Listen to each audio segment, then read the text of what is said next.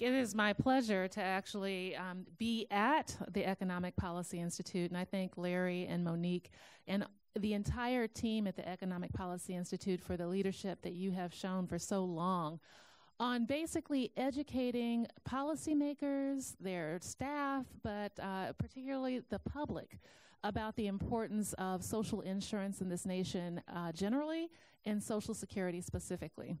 I think it's important for us to ground ourselves in the fact that, you know, prior to 1935, uh, we did not have uh, Social Security or Medicare, uh, certainly, which came along in 1965. And so we had uh, a, a, country that was completely at risk. Uh, there was no pillar of progress like Social Security around. Uh, and if you uh, went through your working years and for heaven forbid you became disabled uh, or you actually um, became so old that you were unable to work, uh, you had nothing to turn to except family members uh, to help you uh, in old age or in the event of a disability.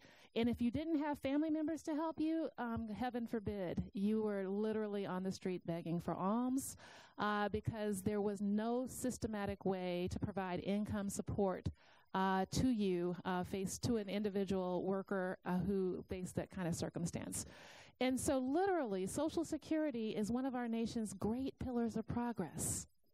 It is one of the things that, that we have created together to make sure that we provide for workers who who play by the rules, who work hard, and and basically uh, have something to turn to in old age or in the in the event of a disability or heaven forbid an untimely death of a worker. And so um, it is important that we take this moment to realize how far we have come. Monique has contextualized where we've been in terms of the debate over social insurance generally, but Social Security specifically. And there have been multiple attacks on the program uh, throughout time. Uh, certainly, the people who were on the losing end of 1935 have never given up their desire to see this program undermined. Uh, and so, with that, instead of, and I'm going to take prerogative as the moderator, instead of me going first to talk about what I have done in this space, I'm actually going to turn it over to my colleagues here, uh, and then I'll loop around towards the back end uh, to share. Uh, it is absolutely my honor and pleasure uh, to actually introduce to you uh, the people on this panel, starting with Nancy Altman. Uh, Nancy Altman has been so fundamentally integral and important to this movement that, you know, her expertise, her insight, and her knowledge base are just going to absolutely blow you away. She is the founding co director of Social Security Works, an organization uh, that has been uh, very important to driving this expansion agenda. Uh, she, uh, she is uh, a 33, 35 year uh, expert in the area of social insurance and Social Security and private pensions. Uh, she is the author of The Battle for Social Security from FDR's Vision to Bush's Gamble, and it certainly was a gamble. Uh, she has been on the faculty at Harvard University's Kennedy School. Uh, and whenever you're in a conversation with Nancy, you realize that not only does she walk the walk, she talks the talk because she's actually been in the rooms and at the decision making tables. Uh, and she can actually draw on that experience to actually tell you what was meant by the, the 1981 and 83 reforms. So, because in 1982, she was Alan Greenspan's assistant in his position as chairman of the bipartisan commission that developed the 1983 Social Security amendments. Right after Nancy, uh, we will directly hear from Steven Hill. Uh, and he is uh, certainly uh, a fellow at the New American Foundation. He's a senior fellow. He's also the Holtzbrinck Fellow at the American Academy in Berlin. He's the author of six books, including one named Raw Deal How the Uber Economy and Runaway Capitalism Are Screwing American Workers. But his latest book you can find actually outside. It's called Expand Social Security Now How to Ensure Americans Get the Retirement They Deserve. And he will be talking to us about this book uh, and coming right up. So without further ado, I'll turn it over to Nancy Altman. Maya, thank you for that wonderful introduction, and thank you everyone uh, for being here. So many friends and um, colleagues in in the effort that we all share. I want to elaborate a little bit.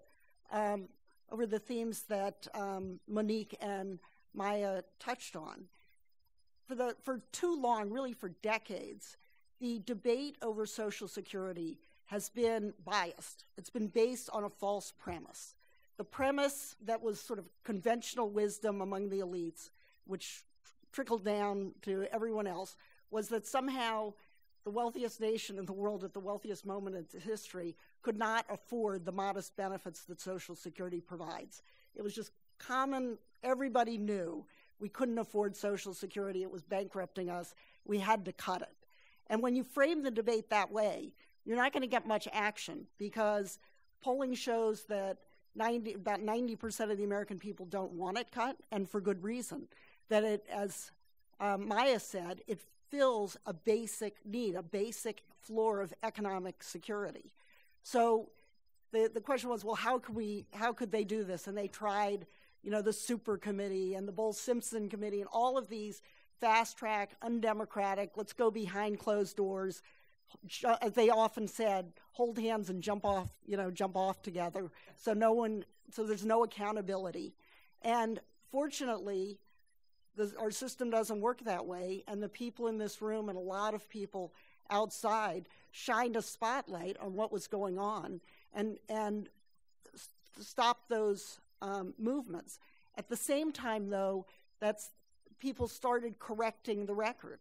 Um, and again, the people at this on this panel, but many people in the audience and many people outside, to make the point that Social Security doesn't add a penny to the deficit. So why are we talking about it in terms of the deficit?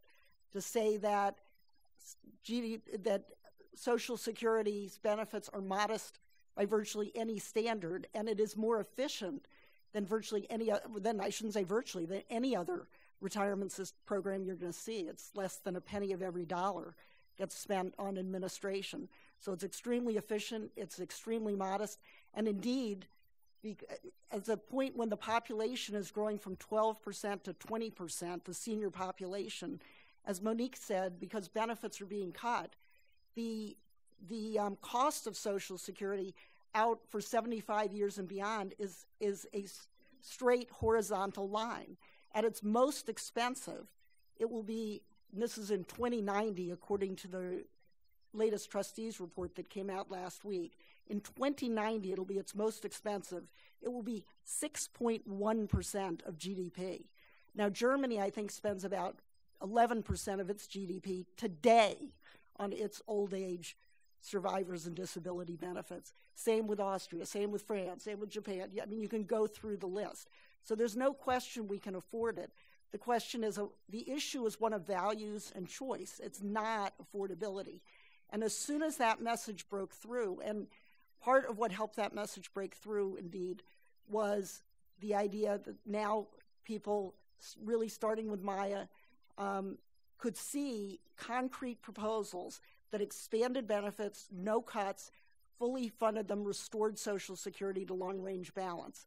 Um, as soon as people started talking about let's expand Social Security, and as soon as it became prominent people like Elizabeth Warren and Sherrod Brown and Tom Harkin and Bernie Sanders and Elijah Cummings and the Congressional Progressive Caucus and lots and Jan Schakowsky and so many others, that all of a sudden it, it's, it's like, wait, I thought it was going bankrupt. If we can expand it, then it's not going bankrupt. And if they can show us these intelligent people are telling us this, and that made the debate, it's just beginning, but I think it's making the debate much more an honest one. Now the question is do we expand Social Security? Do we keep it the level it is but fully fund it?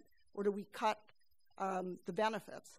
And that, you know, that's a balanced question. Now I feel quite confident if the um, legislators, if the Democratic Party throws down the gauntlet and, and stands behind um, an expand package and really puts the Republicans on the defensive. So it's not behind closed doors. There's not this holding hands. So it's really going to be fun um, to see. So an important part was um, correcting the, the, the record, and that's still going on. You know, we still hear it's fiscally irresponsible, it's robbing our children. I mean, there are all kinds of phony arguments that are being put forward that we still have to beat down. Um, there are what I call zombie lies that there's no trust fund and the money's all been spent. The first time somebody said it was worthless IOUs was Alf Landon in 1936. The first group that, that refuted this concept was an advisory council in 1938 that disagreed on a lot of things, but they were, uni- they were unified in the statement they put out. So we've got to keep doing this. There's too much, as Maya said, there are the uh, people who were defeated um, in 1935 and in 1965, and are um, and they're some of them are um, they're um, spiritual heirs. Some of their are their direct descendants. Um, George W. Bush's grandfather famously said, "the The only person I've ever hated lies buried in Hyde Park."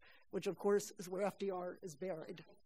Um, so some of them, and the Koch brothers too, their grandfather was in Texas railing against the New Deal. So there's, and there's a lot of money um, on that side. But we've got truth on our side, and we've got the American people on our side. So the, and, and I think what's becoming clear, and I think it was the AFL CIO, I'm looking at Gail, that first used this language that Social Security is not a problem, it's not in crisis. Social Security is a solution. It was an executive council of the AFL CIO that I think first used that language, and it's true. It's a solution to the retirement income crisis, it's a solution to the squeeze on working families, it's a solution to income and wealth inequality. So there's, it's a strong, as I like to say, it's wise policy and it's winning politics. Um, so some of it was um, is is getting the facts out and showing just how efficient, how universal, how secure, how fair Social Security is. It's how portable. I mean, it is. It has so many pluses. It's add-on benefits that you cannot find in the private sector, like complete cost of living adjustment. Although we have to make that more accurate um, and make because it's under measures inflation at this point add on benefits, for example, for divorced spouses that don't undercut the workers' benefit. It's got all of these advantages if we are going to do something about retirement income and even the right says we've got to do something they want to do it through 401ks but our answer is good let's take that money and put it in social security because that's the, the system not the 401k system that really is universal and helps all working families. So Maya uh, really set the table with and, and made the important point that we are be fast becoming a majority minority country. And it would be, I don't know what the strongest, I mean, ironic is the weakest word you can say. It would be outrageous if, as we're turning majority minority, that after people have been paying in and earning these benefits for years, we turn around and cut them. That would be an outrage. What we need to do is expand them. So Maya did a wonderful job educating us and showing us the path. My co-director Eric Kingson and I um, put together a, a book that showed different um, that you can increase benefits, but we should also be adding benefits. The idea of paid family leave, the idea of sick leave, fit within the concept of Social Security wage insurance. It's a time when wages are lost, when your costs go up. That's a, it's a, you can think of it as a kind of short term disability to go with long term. So those are kinds of benefits we should be thinking about. Um, but when Eric and I finished after the book was out, we looked at each other and said, you know, we really we thought we were trying to do the left edge, but we really were not. We weren't thinking big enough. We weren't thinking bold enough. And so I was delighted when Steven Hill came out with his book that is the bold vision I think we need. So, with that, I will turn it over to Steven.